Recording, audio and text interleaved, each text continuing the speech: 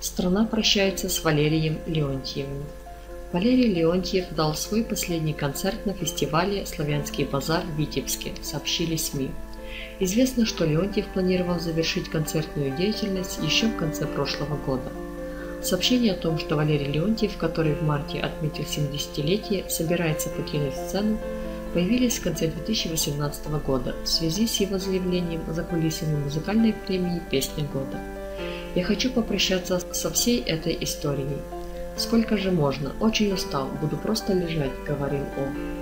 По словам источников, на такое решение артиста могла навести его супруга Людмила, которая живет в США.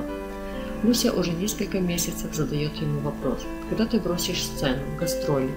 Перелеты выступления отнимают много сил, а ведь Валера уже не молодой, и супруга беспокоится о его здоровье.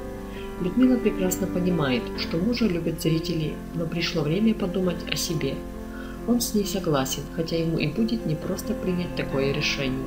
Все-таки свою жизнь он посвятил музыке, рассказали их друзья.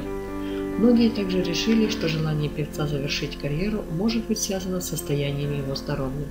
В частности, он испытывает боли в ноге, так как еще в 1970-х годах травмировал мениск, хотя и не показывает этого на сцене. Несмотря на специальные упражнения и дорогостоящие лекарства, которые назначались артисту, и на две перенесенные на колени операции, Леонтьеву все равно приходится проводить профилактику суставов.